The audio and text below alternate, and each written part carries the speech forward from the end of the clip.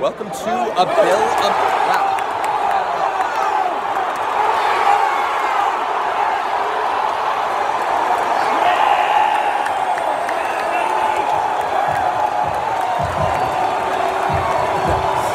Hey,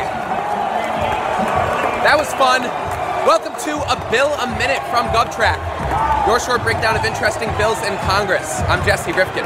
Now, as you can see, I'm here with thousands of my closest friends at Audi Field in Washington, D.C. for the XFL playoff game. That's the Extreme Football League. This match between the DC Defenders versus the Seattle Sea Dragons.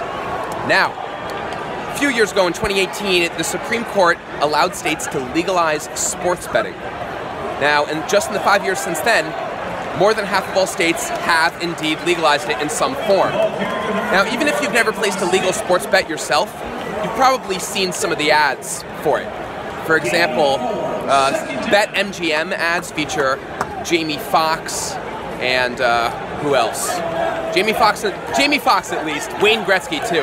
Uh, Caesar Sportsbook ads features Peyton Manning and Halle Berry. Uh, so now there's a new bill in Congress called the there's a new bill in Congress called the Betting on Our Future Act, which would ban most advertising for sports betting. It was introduced in Congress by New York Democratic Representative Paul Tongo.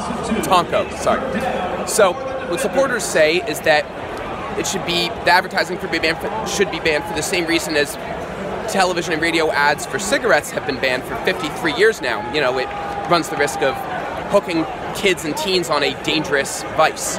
But opponents counter that, you know, like alcohol prohibition in the 20s, you know, bans often prove ineffective, and if anything, if anything, they drive an activity more underground.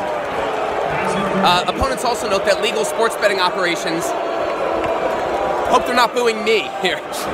Is my video really that bad? Anyway, uh, opponents counter that uh, legal sports betting operations have age minimums anyway to keep kids and teens out. So anyway, let's root on the DC Defenders here. It's, we're down three to zero right now versus the Seattle Sea Dragons, but I have a feeling things are about to turn around. Let's let's take a look at this game.